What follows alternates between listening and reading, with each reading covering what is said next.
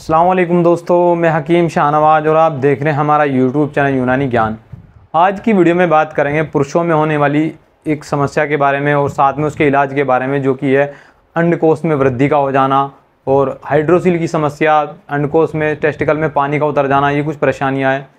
ये परेशानी उन लोगों में होती है जिनको टेस्टिकल में या तो चोट वगैरह लग गई है और इसके अलावा कुछ लोगों में एक्सरसाइज के दौरान जो है वो लंगोट वगैरह फ्रेंची वगैरह का इस्तेमाल नहीं करते, उस तरह की कंडीशन में भी जब आप एक्सरसाइज करते हैं, खासतौर से थाई वगैरह की, पैरों की एक्सरसाइज वगैरह करते हैं, तब उस तरह की कंडीशन में आपके साथ में ये परेशानी हो सकती है। आपका जो टेस्टिकल का जो साइज़ है, वो बड़ा हो जाता है, वहाँ पर पानी सा हो जाता है, पानी सा एक तरह से भर जाता है, उसके अंदर जल भराव की स्थिति जिसको कहते हैं आयुर्वेद में। तो उस तरह की कंडीशन में एक लेप आपको बताने वाला जो आप बनाकर फ़ायदा उठा सकते हैं। इसके अलावा खाने वाली दवाई भी इस वीडियो में आपको बताने वाला कुल मिलाकर ये एक डिटेल वीडियो होगा इस बारे में, इस तरह की समस्याओं को लेकर।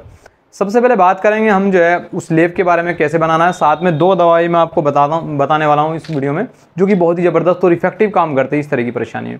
तो जो अंडकोश की जो सूजन है इस तरह की कंडीशन में, एक तो आपको दो चम्मच जीरा लेना है, दो चम्मच काली मिर्च लेनी है और दो चम्मच कलौजी लेना है। तीनों चीज़ों को बारीक पीस लीजिएगा, पीसने के बाद इनका पाउडर बना लीजिएगा। इसके अलावा आपको तिल का तेल लेना है चार चम्मच और जैतून का तेल लेना है चार चम्मच।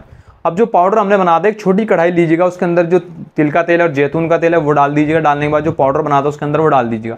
हल्की धीमी आँच पर इसको कुछ देर पकाइए, ताकि ये पेस्ट बन जाए। ज़्यादा गाढ़ा भी नहीं होना, इतना बनाना है इस तरीके से कि ये आराम से अगर कहीं पर आप पेस्ट लगा रहे हैं तो पेस्ट बनाना है, ताकि लग जाए, वहाँ पर चिपक जाए।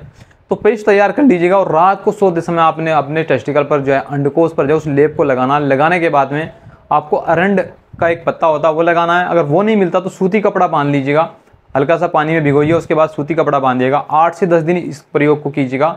बहुत अच्छे रिज़ल्ट मिलेंगे। सूजन में बहुत लाजवाब काम करता है। पूरी अंडकोश की सूजन को पानी भर जल जल भराओ जैसी कंडीशन में बहुत अच्छा रिज़ल्ट मिलेगा। इसके अलावा दो दवाइयाँ आयुर्वेद की मैं इस वीडियो में बताने वाला हूँ। देखिए, यह काचनार गुग्गुल और यह वृद्धि बाधिकावटी काचनार गुग्गुल एक ऐसी दवाई है जो कहीं पर भी आपको गांठ की समस्या हो गई है, शरीर के अंदर चर्बी की गांठ हो जाती है, उसको भी गलाने का काम करती है। अंडकोश में वृद्धि में काफ़ी अच्छा काम करेगी। और टेस्टिकल की जितनी भी इस तरह की परेशानियाँ होती सूजन की समस्या, हाइड्रोसिल की समस्या में अच्छा रिज़ल्ट मिलता है। इसके अलावा वृद्धि वादिकावटी। देखिए, ये खासतौर से अंड वृद्धि, यानी अंडकोश की वृद्धि के लिए बनाई गई एक टेबलेट है। तो ये भी बहुत इफ़ेक्टिव दवाई है। तो ये दोनों इस्तेमाल करेंगे। कैसे इस्तेमाल करना है? अगर थोड़ी परेशानी है तो एक एक टेबलेट सुबह शाम, ज़्यादा परेशानी होने पर इसको दो दो टेबलेट सुबह शाम भी लिया जाता है। तो ये इसकी नॉर्मल डोज होती है। खाना खाने के बाद में लेना चाहिए, ताज़े पानी से ले सकते हैं। ये चीज़ें हैं। इस दौरान आपने खट्टी चीज़ों का इस्तेमाल नहीं करना, जो खटाई वाली चीज़ें वो इस्तेमाल नहीं करनी है। और लंगोट वगैरह बाँध कर रखेंगे, ज़्यादा बेहतर रहेगा। कुछ एक्सरसाइज नहीं करनी, ये ध्यान रखना है।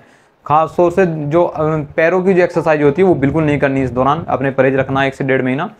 तो ये दवाइयों को एक से डेढ़ महीने इस्तेमाल कीजिए। बस वो जो लेप वाली दवाई है, वो आप आठ से दस दिन कर लेंगे, उसमें ही आपके लिए बेनिफिट रहेगा, काफ़ी रहेगा।